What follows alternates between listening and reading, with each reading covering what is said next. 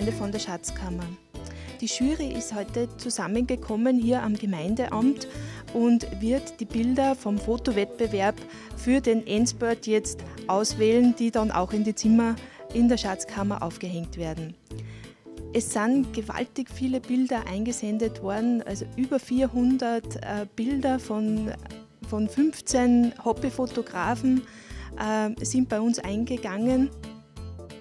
Mit dabei bei der Jury sind unser Bürgermeister Manfred Nenning, der Liedermanager Manfred Hinterdorfer, die Kunsthistorikerin Magister Birgit Leupold, unsere Amtsleiterin Magister Birgit Eigner-Brunhofer und die Geschäftsführerin vom Tourismusverband Bad Kreuzen, Frau Silvia Leitner. Der Ablauf der Auswahl ist so, zuerst wählt jeder seine 20 Favorites in der Grobauswahl und jetzt bestimmen wir 50 Bilder, die dann auch wirklich in der Schatzkammer vorhanden sein werden. Ich sehe da viel Punktal. Viel Punktal ist für diejenigen, die die Bilder eingeschickt haben, eine ganz klasse Geschichte, weil die Chance, dass die Bilder hängen, äh, die werden immer größer. Ja?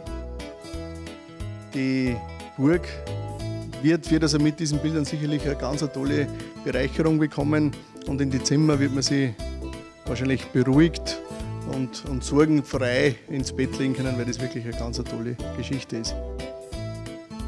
Ist Strobengau in Bildern gut vertreten?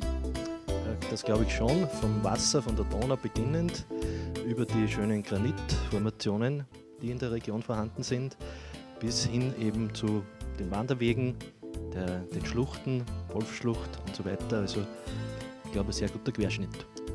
Ja, Silvia, was sagst du zu den Bildern? Glaubst du, ist da eins dazu auserkoren, äh, in ein Zimmer gehängt zu werden? Ja, natürlich, weil nach dieser Vielfalt könnte man pro Zimmer drei Stück einhängen. Ich möchte mich auch ganz herzlich beim Team vom Strudengau TV nur bedanken, vor allem beim Johannes Gstöttenmeier und der Maria Gstöttenmeier für die tolle Abwicklung von diesem Fotowettbewerb. Dankeschön.